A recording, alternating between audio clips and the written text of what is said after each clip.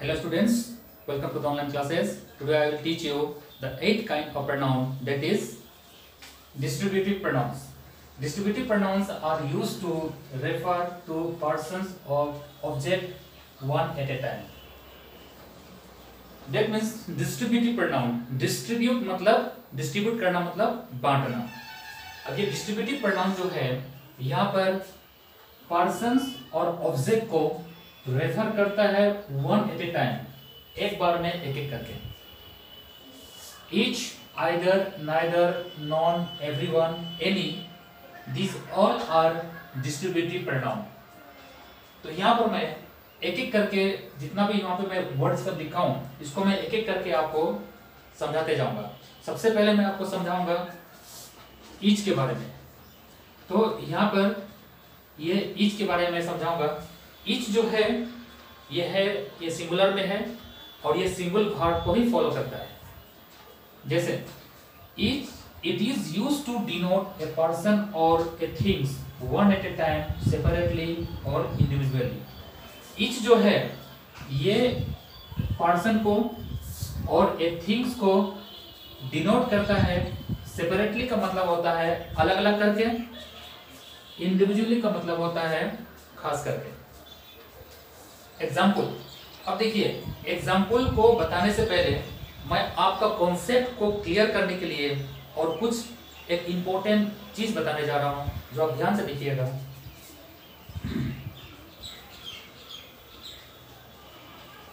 Each of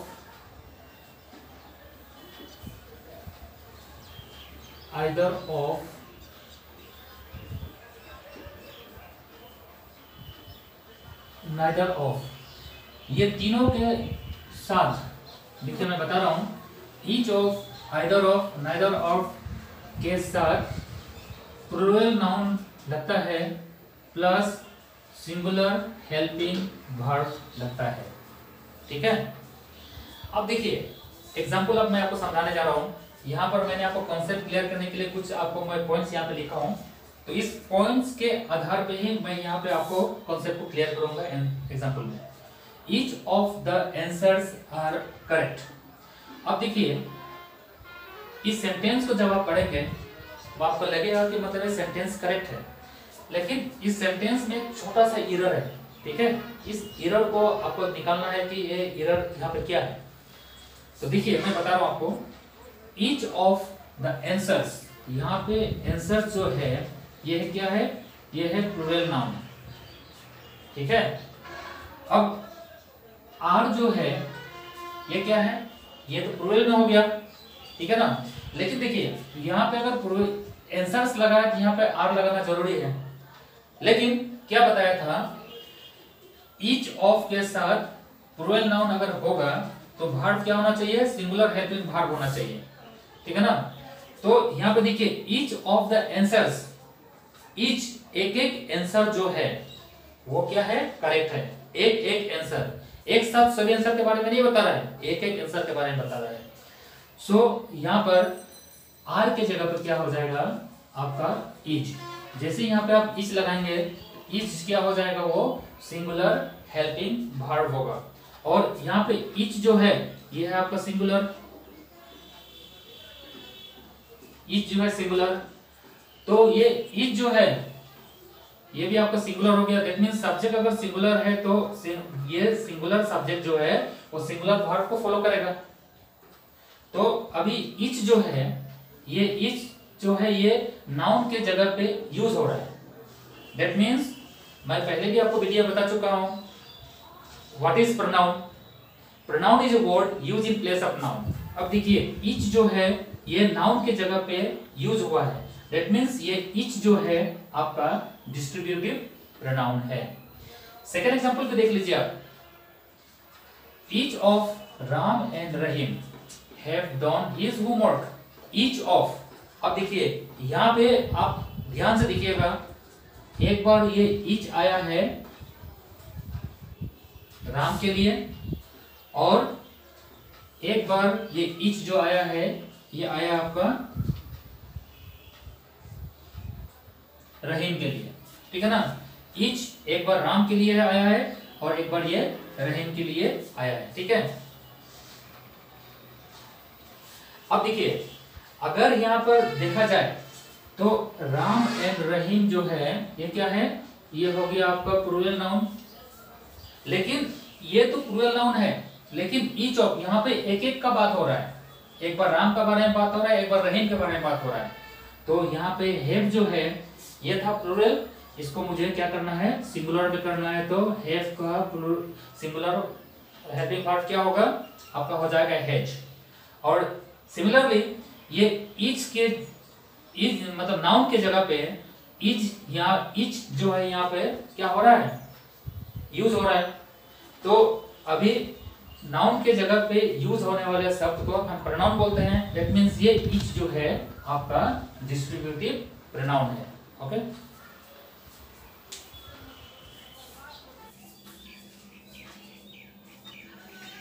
come to the next point either इससे पहले मैंने आपको ईच के बारे में बताया था।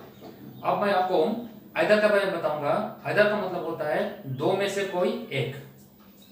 When we select one or the other, one of the, one of the two we use either दो में से, दो में से कोई एक चीज़ के बारे में या एक आदमी के बारे में बात किया जाए, उस उसे हम आइदर बोलते हैं। For example either of this roads lead to the railway station यहाँ पर इस सेंटेंस में अगर देखा जाए तो रेलवे स्टेशन का रोड के बारे में बात किया जा रहा है। आइदर ऑफ़ दिस रोड्स यहाँ पर एक से ज़्यादा रोड है। लेकिन पर्टिकुलरली हम एक रोड के बारे में बात करेंगे यहाँ पर। देखिए, यहाँ पर जैसे आइदर जो है, ये क्या है? ये आपका सिंगुलर है। ये आपका सिंगुलर है।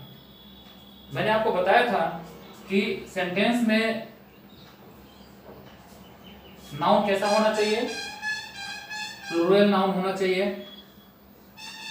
भार्ब कैसा होना चाहिए? सिंगुलर हेल्पिंग भार्ब होना चाहिए था। तो यहाँ पर ये लीड जो है, ये आपका सिंगुलर नहीं है ये। ये लीड जो है, ये आपका सिंगुलर नहीं है प्लूरल हेल्पिंग भार्ब है। अब आप बोलेंगे क्लास में तो बताया जा रहा था कि कोई भी अगर वर्ड्स के, जिसे उसमें एस लगा दिया जाए तो वो प्रूरल हो जाता है सिंगुलर से प्रूरल हो जाता है। लेकिन यहाँ पर मैं आपको बता रहा हूँ, पहले क्या था? पहले आपका ये था लीड ये जो था आपका प्रूरल फॉर्म में था। अब इसको सिंगुलर बनाने के लिए मैं यहाँ पर इसको लगा दिया एस तब हो गया ये सिंगुलर हेल्पिंग वर्ब अब आप सोच रहे होंगे कि यहाँ पर एस लगने के बाद कैसे ये सिंगुलर हेल्पिंग वर्ब हो गया। तो माय स्टूडेंट क्लास में इस कॉन्सेप्ट को मैं आपको पूरा क्लियर कर दूँगा। ठीक है? यहाँ पर एस लगाने के बाद कैसे ये सिंगुलर हेल्पिंग वर्ब हो गया। मैं इस, इसको ठीक है? मैं क्लास में इसका कॉन्सेप्ट मैं क्लियर कर दूँगा आपको। अब देखिए, यहाँ पर वर्ब जो है सिंगुलर हेल्पिंग वर्ब है। अब सब्जेक्ट भी जो है सब्जेक्ट भी जो है, वो सिंगुलर में हो गया है। ठीक है? क्योंकि जब सब्जेक्ट सिंगुलर में होगा तो सिंगुलर भार्व का वर्ब को इंडिकेट करेगा वो। अब देखिए आइदर जो है, वो नाउन के जगह पे यूज़ हुआ है। डेट मीन्स आइदर जो है, वो प्रोनाउन है। डेट मीन्स आइदर जो है वो आपका डिस्ट्रीब्यूटिव प्रोनाउन है। नेक्स्ट एग्जांपल में देखिए either of the two girls are going अब देखिए either of the two girls यहाँ पर दो गर्ल्स गर्ल्स जो है, यहाँ पर गर्ल्स जो है, ये आपका प्लूरल नाउन है। अब देखिए आइदर जो है, ये है सिंगुलर सब्जेक्ट अगर सिंगुलर में होगा तो भार्ब क्या होना चाहिए? बोलिए भार्ब क्या होना चाहिए? भार्ब जो है, ये भी सिंगुलर हेल्पिंग भार्ब होना चाहिए। लेकिन ये तो प्लूरल फॉर्म में है। अब इसको सिंगुलर बनाने के लिए हम क्या करेंगे? यहाँ पर हम इज़ लिख देंगे क्लियर अब देखिए आइदर जो है नाउन के जगह पे यूज़ हुआ है दैट मींस आइदर जो है वो डिस्ट्रीब्यूटिव प्रोनाउन है।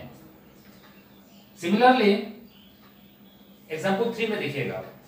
Either of the twenty girls is going यहाँ पर टू गर्ल्स के बारे में बात हो रहा है। यहाँ पर आपका ट्वेंटी गर्ल्स के बारे में बात हो रहा है।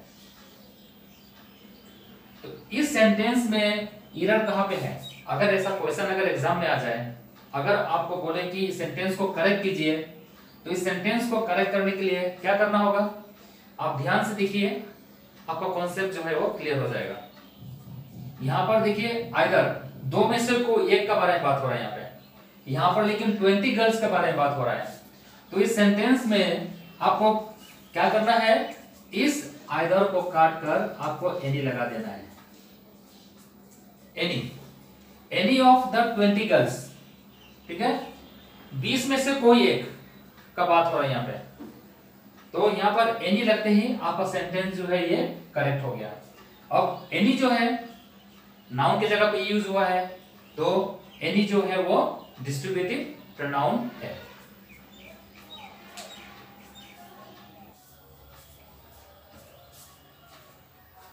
Come to next point neither neither means दो में से कोई भी नहीं। When we select not the one not the other one of one of the two we use neither neither का मतलब होता है निगेटिव नहीं, ठीक है? For example neither of the boy can do that अब इस सेंटेंस में आप देखिए, कहाँ पे एरर है? आपको अब तो समझ जाना चाहिए, आपके लिए इजी होना चाहिए अभी, कि neither of the neither of the boy can do that अब इस सेंटेंस में सबसे पहले आपको देखना होगा नाउन जो है, वो कौन सा फॉर्म में है? तो यहाँ पर देखिए नाउन जो है, वो सिंगुलर में है अभी। ठीक है? नाउन जो है, वो सिंगुलर में है। नाउन को प्लूरल फॉर्म बनाने के लिए क्या करना पड़ेगा? यहाँ पे मुझे एस लगा देना पड़ेगा। तो ये हो गया बॉयस डेट मीन्स ये क्या हो गया? नाउन जो है, क्या हो गया? प्लूरल नाउन हो गया। अब देखिए दू जो है ये सही है ये है आपका सिंगुलर हेल्पिंग वर्ब अब देखिए नाइदर ये जो है ये सिंगुलर है। मैं तो बार बार एक ही चीज़ बता रहा हूँ अगर सब्जेक्ट सिंगुलर में होगा तो वर्ब क्या होगा? सिंगुलर में होगा ये। नाइदर जो है वो नाउन की जगह पे यूज़ हुआ है सो so, नाइदर जो है वो आपको डिस्ट्रीब्यूटिव प्रोनाउन है। Next example neither of the two boys are going इस सेंटेंसेस में, इस सेंटेंस में देखिए, यहाँ पे टू बॉयज़ बॉयज़ जो है वो क्या है? आपका प्लूरल नाउन है. भार्ट जो है इसको मुझे सिंगुलर बनाना है. तो यहाँ पे हो जाएगा ईच तो ये हो जाएगा आपका singular helping verb neither subject जो है, ये है आपका सिंगुलर में. तो सब्जेक्ट अगर सिंगुलर में होगा तो वर्ब भी सिंगुलर में होगा। और नाइदर जो है ये किसके जगह पे यूज़ हुआ है? नाउन की जगह पे। सो so, नाइदर जो है ये आपका डिस्ट्रीब्यूटिव प्रोनाउन है। लास्ट एग्जांपल पे देखिए। इससे पहले वाला एग्जांपल में मैंने आपको बॉयज़ के बारे में बताया था। अब और गर्ल्स के बारे में बताया था। अब मैं आपको बॉयज़ के बारे में बताऊँगा। फ़र्स्ट एग्जांपल में मैं आपको बॉयज़ के बारे में बताया। सेकंड में भी थर्ड में भी। जो आपका नाउन जो है वो सिमिलर है यहाँ पे। थर्ड पे देखिए। Neither of the ten boys is going यहाँ पर आपको देखिए टू का यूज़ हो रहा है, यहाँ पर आपका टेन का यूज़ हो रहा है। मतलब यहाँ पे है neither of the two boys दोनों में से कोई भी नहीं गया। यहाँ पर neither of the ten boys is going दस में से कोई भी नहीं गया।